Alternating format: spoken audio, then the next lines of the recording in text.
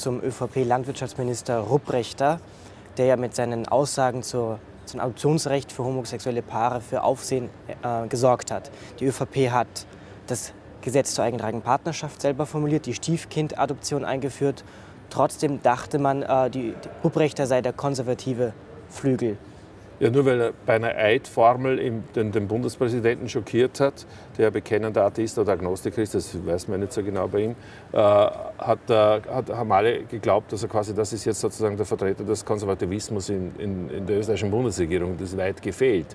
Äh, seine Aussagen waren meiner Ansicht nach verrückt, aber das, was die Reaktion der Familienministerin Karmasin war, war um keinen Deut besser. Sie hat gesagt, ja, sie ist zwar der Meinung, kein Adoptionsrecht für homosexuelle Paare, aber sie ist der Meinung, Meinung, man sollte äh, homosexuellen Paare als Pflegeeltern einsetzen. Ja, damit setzt sie ja nur noch dem Ganzen die Krone auf. Ja? Damit schafft sie eine Lösung jetzt schon. Die keine ist in Wahrheit, ja, sondern es ist schlicht und einfach äh, die ÖVP in den liberalen Mainstream eingeklinkt. Und das sieht jeder, der mit einigermaßen mit offenen Augen die politische Landschaft betrachtet.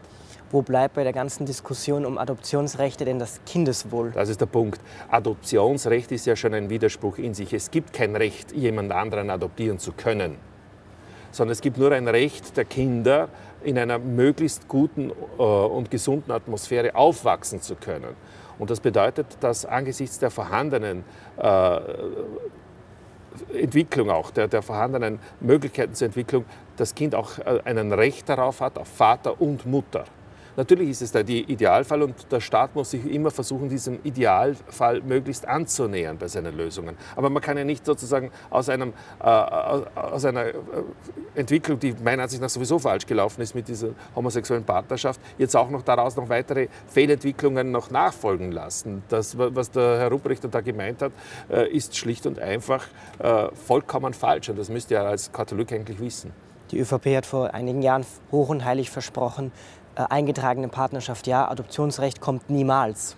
Ich war selber noch im Parlament, als das von den schwarzen Vertretern gesagt wurde. Aber man sieht ja, wie man sich auf die Schwarzen verlassen kann. Grundsätzlich ist äh, das alles nur eine Frage der libertären Sickerzeit. Die ÖVP macht über kurz oder lang, meistens mittlerweile werden die äh, Intervalle ja schon kürzer, jeden liberalen Unsinn mit.